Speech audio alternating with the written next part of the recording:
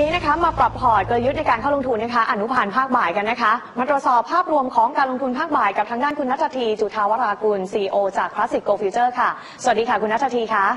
สวัสดีค่ะคุณชุติมาค่ะต้องดูกันหน่อยนะคะ ตอนนี้สภาพของราคาทองคำนะคะ แนวโน้มนี่ยังคงเป็นลักษณะ sideway หรือว่ามองว่ายังลงคะเพราะว่าวันนี้ก็เห็นมีการ rebound ขึ้นมาได้นะคะ ค่ะก็สำหรับราคาทองคำนะคะ จริงๆภาพรวมในช่วงนี้การที่ราคาทองคำยัง trading ต่ำกว่าระดับ 1,300 เหรียญนะยังมองว่าเป็นในลักษณะ sideway down นะเพียงแต่ว่าวันก่อนนะคะราคาทองคำมีการลงมาทำทดสอบจุดต่ำสุดเดิมนะคะ ของเดือนที่ระดับประมาณ 1,277เหรียญ US dollar นะคะการที่ถ้าราคาทองคำยังสามารถประคองตัวเหนือระดับ 1,277 นะคะมองว่าโอกาสที่ราคาทองคำจะ rebound ขึ้นไปในโซน 1,290 เหรียญหรือว่าที่ระดับ 1,300 เหรียญยังมีโอกาสนะคะ แต่ทั้งนี้ทั้งนั้นเนี่ยก็แนะนำนักลงคุณว่าในระยะสั้นถ้าเกิดราคาทองคำยังสามารถประคองตัวเหนือระดับจุดต่ำสุดเดิม 1,277 นะคะอาจจะเทรดดิ้งลองระยะสั้นได้นะคะแล้วก็มีเป้าหมายในการปิดทำกำไรนะในโซน 1,290 หรือว่า 1,300 เหรียญนะคะ แต่ทั้งนี้ทั้งนั้นนะภาพรวมถ้าราคาทองคำยังไม่สามารถทะลุผ่านโซน 1,300 เหรียญนะคะก็อาจจะมีโอกาสที่จะปรับลงมาทดสอบ จุดจุดเดิมอีกครั้ง แล้วก็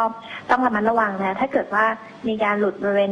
1,277 เหรียญนะโอกาสที่จะปรับตัวลงต่อ แล้วก็จะมีแรงขายก็ยังมีนะเพราะว่าในช่วงนี้เนี่ยจริงๆแล้วตัวเลขเศรษฐกิจสหรัฐนะจะเห็นได้ว่า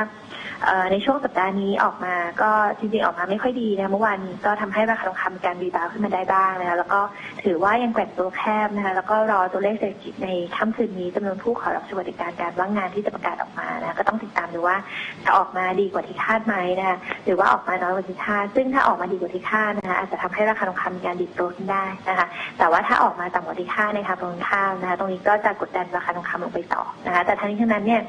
ตัวเลขเศรษฐกิจสหรัฐในสัปดาห์นี้ก็อาจจะไม่ได้สำคัญมากนักนะคะก็นักลงทุนอาจจะติดตามรอดูผลการประชุมเฟดในสัปดาห์หน้ามากกว่าค่ะ ค่ะ แสดงว่าตัวเลขที่ออกมาในช่วงนี้ที่ไม่ค่อยมี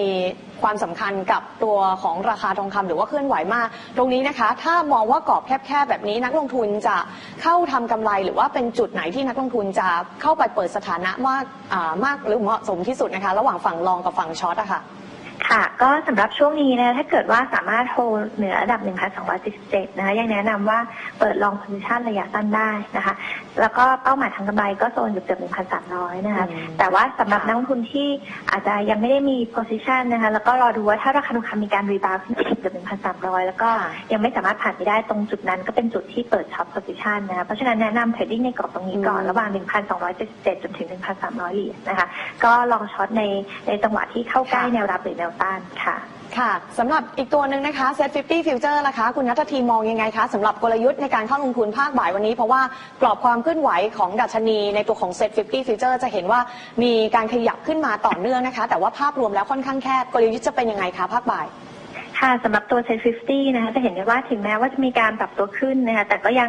ติดอยู่ตรงแนวต้านบริเวณ 970 จุดนะคะเพราะฉะนั้นจะเห็นได้ว่าเซ็ต50เนี่ยอย่างช่วงเช้าเองนะคะก็เคลื่อนไหวในโซน 960 จุดถึง 970 จุดเท่านั้นนะคะค่ะเพราะฉะนั้นก็ยังแนะนำว่านักลงทุนว่า ถ้าเกิดว่ามีการปรับตัวลงมาแล้วยังไม่หลุดโซนบริเวณ 960 จุดนะคะ ก็ยังสามารถเข้ามาซื้อในบริเวณแนวรับได้นะคะ แต่ว่าก็มีแนวต้านที่แนะนำไปทำกำไรอาจจะอยู่ที่บริเวณ 970 จุดนะคะ เพราะว่าทั้งนี้ทั้งนั้นเนี่ยภาพรวมโดยรวมนะคะก็ยังมีปัจจัยที่กดดันทางด้านการเมืองที่ยังคงยืดเยื้อนะคะ แต่ว่าในระยะสั้นเนี่ยจากการที่ต่างชาติมีการซื้อสุทธิอย่างต่อเนื่องนะตรงนี้ก็ยังเป็นปัจจัยหนุนนำทำให้โมเมนตัมยังเป็นในเชิงบวกนะคะเพราะฉะนั้นตรงนี้ก็อยากจะให้ดูว่าอย่างช่วงภาคบ่ายาค่ะมาดูตัว Set 50 Series M นะคะ แนวรับอยู่ที่ 967 จุด แล้วก็